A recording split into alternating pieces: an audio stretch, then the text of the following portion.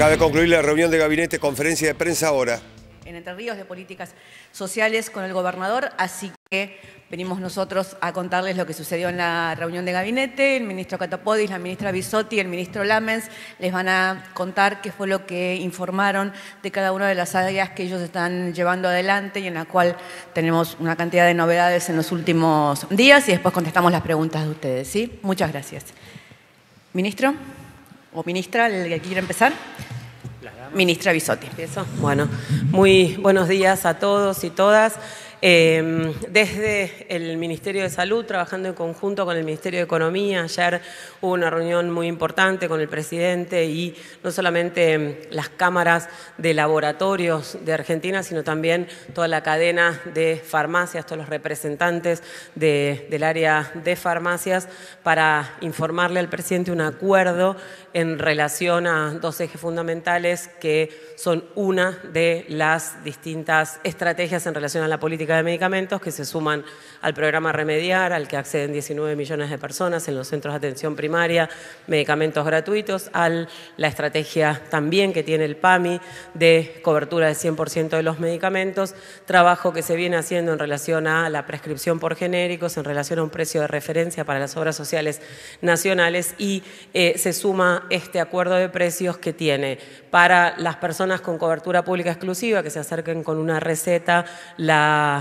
eh, en las farmacias un descuento del 35%, es una oferta que hizo la industria farmacéutica, que presentó junto con todas las los, y las representantes de las farmacias y eh, en relación a los precios un compromiso de no aumentar eh, por encima de la inflación durante los próximos 60 días, sino que el aumento tiene que ser un punto por debajo de la inflación, por lo tanto lo que va a suceder es tener una proyección, digamos, de este, este tema en relación al impacto que ha tenido el aumento de los medicamentos, sobre todo en las últimas semanas. Eh, es un trabajo que se viene haciendo. Destacar que es un acuerdo y destacar que desde la Secretaría de Comercio Interior y el Ministerio de Salud se va a monitorear esto y por supuesto se seguirá trabajando en todos los ejes de la política de medicamentos.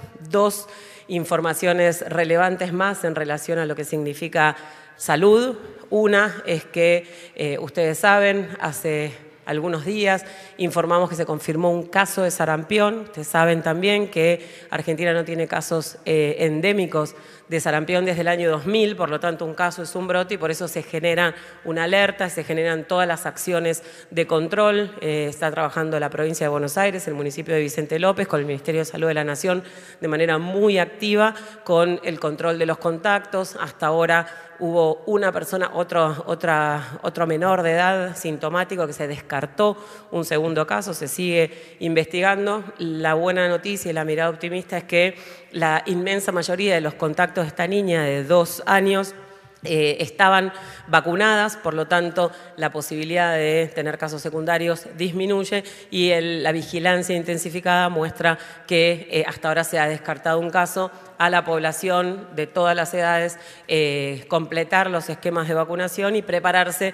para el primero de octubre que empiece una campaña nacional de vacunación para todos los niños y niñas entre 1 y 4 años y la otra noticia es para las familias de niños y niñas a partir de los seis meses de vida. Eh, el viernes a las 8 de la mañana llega el primer avión, la, primera entrega con 2.7 millones de la vacuna moderna para empezar esta estrategia de vacunación entre seis meses y tres años, y dos, años, 11 meses y 29 días, el esquema primario, y tres y cuatro años eh, empezar con los refuerzos quienes recibieron el esquema eh, de Sinopharm. Así que eh, vamos a trabajar como siempre con las 24 jurisdicciones para empezar la distribución y empezar el plan de vacunación en función de los planes provinciales. Muchas gracias. Hola, buen, buen, día para todas, para todos. Bueno, lo que tuvo que ver con, el sector de turismo, que conversamos en la reunión de gabinete, que también Contamos un poco con la ministra de Economía en qué venimos trabajando. La verdad que los números que tenemos de las vacaciones de invierno son, muy auspiciosos. Contábamos a mis pares de gabinete que ya no estamos hablando de una, de una recuperación del sector, sino de un crecimiento, 15% arriba en cantidad de argentinos y argentinas que están disfrutando de los destinos de nuestro país. Eso sabemos lo que significa el turismo en términos de impacto económico para las economías regionales. Y sabemos también lo que significa en términos de generación de empleo. El ministro de Trabajo, Claudio Morón, informaba también que, bueno, por sexto mes consecutivo, el turismo es una de las actividades que lidera la recuperación del empleo formal, 26.000 empleos formales en el último mes, de los cuales el turismo lideró ese crecimiento junto con la actividad industrial, junto también con la construcción. Así que contentos con los resultados que estamos teniendo. En estas vacaciones de invierno todavía 350.000 argentinos y argentinas viajando con el beneficio de previaje, que del, previaje 2, digamos, del previaje de la edición del año pasado, terminando de ultimar los detalles para el lanzamiento del previaje 3, que sabemos que generó mucha expectativa, que hay mucha que hay mucha demanda para viajar en temporada baja. Como ustedes saben, va a ser un previaje diferente. La demora en el, en el, anuncio tiene que ver con cuestiones de implementación, tiene que ver también con tener un control de precios sobre el sector, este, eh, trabajar con ellos para, sobre todo considerando que es en temporada baja, creemos que es posible tener eh, un, congelamiento de precios, sobre todo en los lugares, en los sectores que, que vamos a, con los que trabajan más fuerte con el previaje, que es el de la hotelería.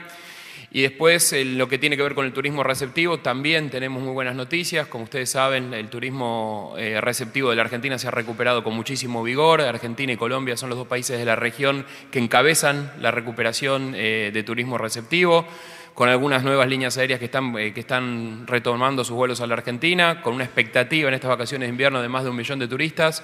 Por supuesto, siempre el turismo de países limítrofes es el que encabeza ese ranking. Uruguay por encima de la prepandemia, más de en el 106% con respecto al, 2019. Eh, Brasil, que es nuestro principal, eh, son nuestros principales visitantes, en el 76% de recuperación. Estados Unidos 74%.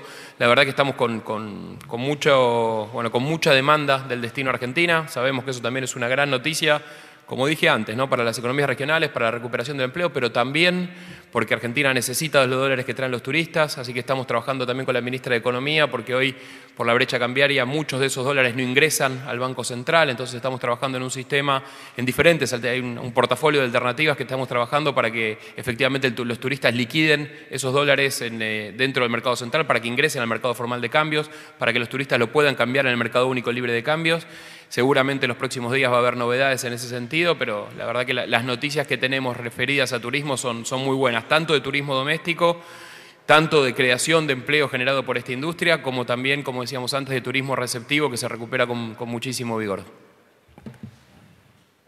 Bueno, buenos días a todos, a todas. Eh, muy breve, esta semana nosotros Iniciamos la ejecución de obras muy importantes, estratégicas para la Argentina, en el marco del Plan Argentina Grande. El Ministerio de Obra Pública tiene ya en todo el territorio nacional 5.000 obras, más de 5.000 obras, con aproximadamente 430.000 puestos de trabajo, 20 meses consecutivos de, recuperación, pero en este caso lo que estamos poniendo foco es en obras estratégicas que apuntalan el desarrollo, que definen este, sustancialmente eh, la actividad económica de cada región de nuestro país. Y con la presencia de distintos gobernadores, gobernadores del oficialismo, gobernadores de la oposición, iniciamos eh, esta semana siete de esas 120 obras estratégicas y a lo largo de las próximas semanas y de los próximos meses, por supuesto, va,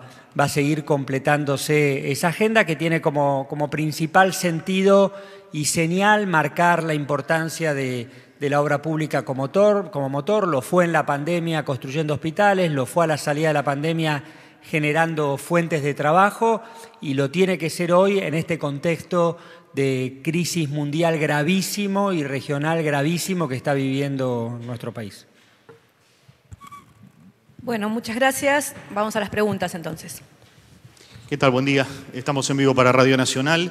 Eh, quería preguntarles, porque más allá de que el gobierno viene manifestando, lo ha dicho usted portavoz, lo han dicho otros funcionarios, que el mercado del dólar blue es nimio, que es eh, de poca envergadura, que no tiene repercusión sobre los precios y sobre la actividad económica, la gente en el día a día vive con preocupación y con incertidumbre lo que está sucediendo, ve que esto tiene incidencia sobre los precios en el supermercado y en otros rubros.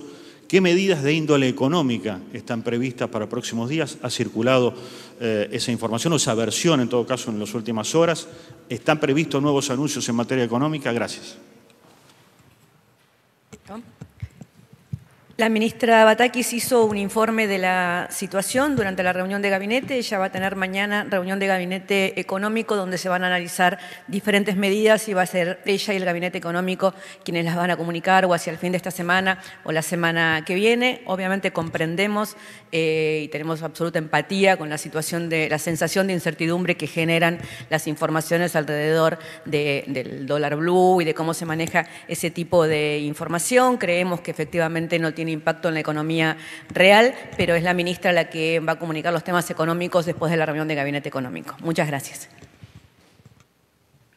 Sí, buenos días. Eh, Estela Gárnica de A24.com. Me gustaría saber qué explicó la ministra de Economía, Silvina Batakis, en la reunión de gabinete sobre la situación económica, esta incertidumbre eh, por la brecha cambiaria y además si va a viajar a Estados Unidos con el presidente Alberto Fernández la semana que viene. Gracias.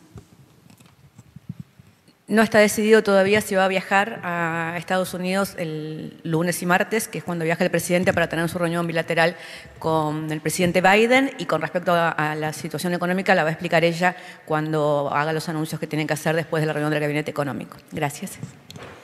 Buenos días. Nicolás Gallardo de CNN Radio, por aquí. La molesto nuevamente, portavoz, porque también la consulta está referida al tema económico, aclarando igual lo que usted planteó, que mañana seguramente habrá precisiones o aún que otro dato más. Le quiero preguntar si el presidente le va a plantear a Biden en Estados Unidos flexibilizar las metas con el Fondo Monetario Internacional, dado la situación de emisión monetaria de la Argentina y otras proyecciones que marcan mayor gasto público. El presidente le va a plantear efectivamente esto ante un eventual incumplimiento. Y por último, todo vinculado con el tema económico, eh, si ante el aumento de la inflación el gobierno piensa, digo, más allá de lo que Batakis seguramente se pronuncie pronto, un aumento por decreto en jubilaciones y aunque otro bono para jubilados. No hablo del salario básico universal, me refiero a un bono para los sectores informales. Gracias.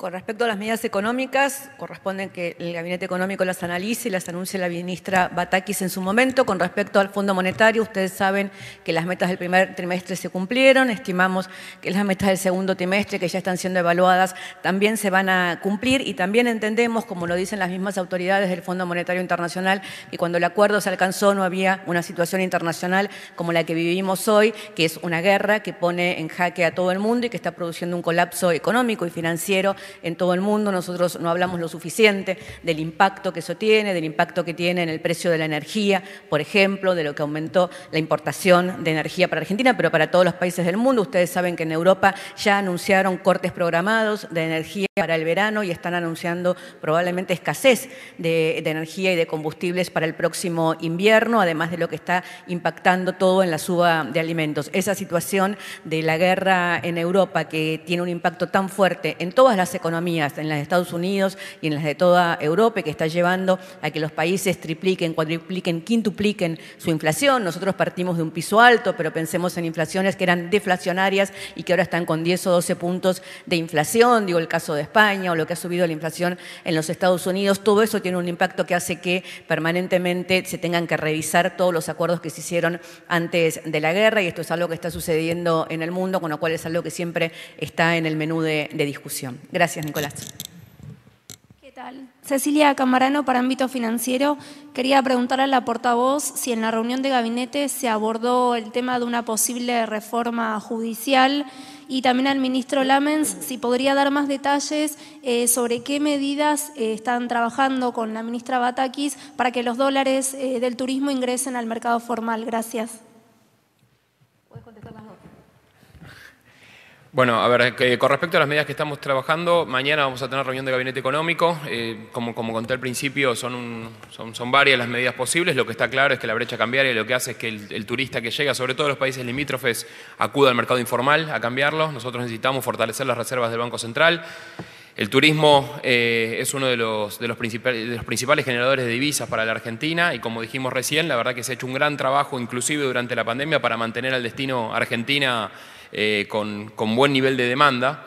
Y bueno, ese, ese, ese, trabajo que se hizo durante la pandemia y también en la pospandemia está dando resultados, está dando un buen resultado, pero lo, como, como, dijimos al principio, necesitamos que, que efectivamente esos soles ingresen. Por supuesto que las medidas sean, sean, eh, sea, sean de, una, de, una, determinada manera u otra, a lo que apuntan es a tener un tipo de cambio diferenciado para el turista, ¿no? que, que a quien lo pueda liquidar sus dólares en el mercado formal a través de tarjeta de crédito o de cualquier otro medio formal, pueda acceder a un tipo de cambio diferenciado que se acerque más al dólar eh, que tiene que ver con el dólar MEP o con el contado con líquido.